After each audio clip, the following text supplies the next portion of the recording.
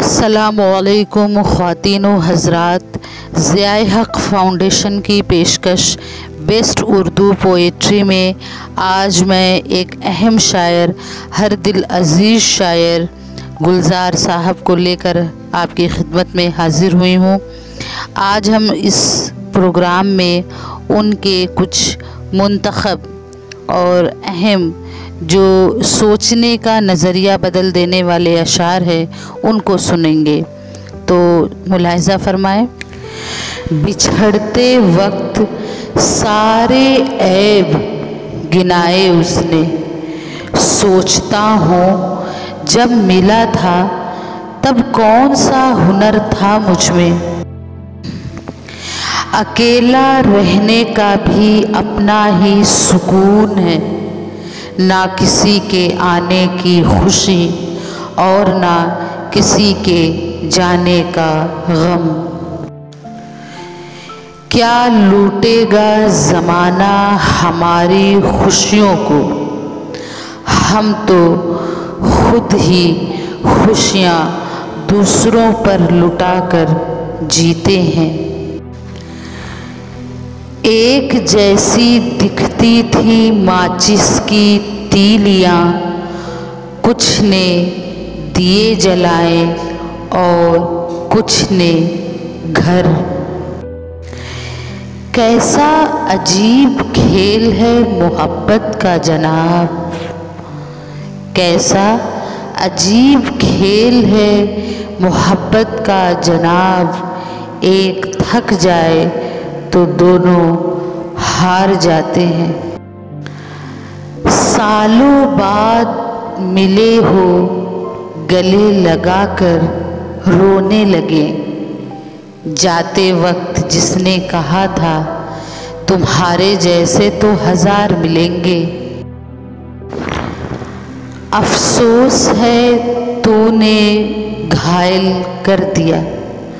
अफसोस है मुझे मुझसे मारा न गया। तुम्हारी आँख कब देखेंगी प्यार के हाथों और एक बेकसूर दिल मारा गया। हमने अक्सर तुम्हारी राहों में रुककर अपना ही इंतज़ार किया है। काश फुर्सत में उन्हें भी ये ख्याल आ जाए कि कोई याद करता है उन्हें ज़िंदगी समझकर।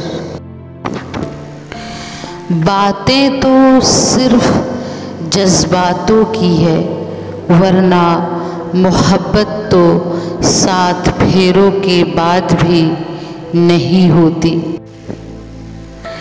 जिस दिन मोहब्बत जतानी हो उसे, उस दिन काजल गहरा लगाती है वो।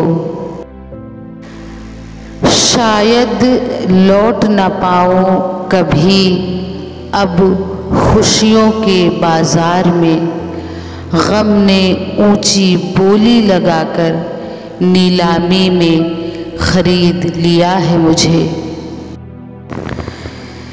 सस्ते में लूट लेती है ये दुनिया, अक्सर उन्हें, जिन्हें खुद की कीमत का अंदाज़ा नहीं होता। चीज़ों से ही हो रही है पहचान आदमी की।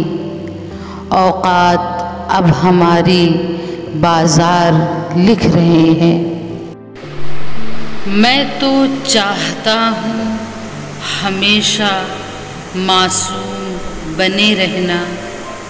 ये जो ज़िंदगी है, समझदार किए जाती है। बहुत बहुत शुक्रिया। उम्मीद है आप सबको ये वीडियो पसंद आई होगी। और अगर पसंद आई है तो प्लीज़ लाइक करें, सब्सक्राइब करें, शेयर करें और मेरी हौसला अफजाई करें। और कमेंट बॉक्स में अपनी राय का इजहार ज़रूर करें। शुक्रिया।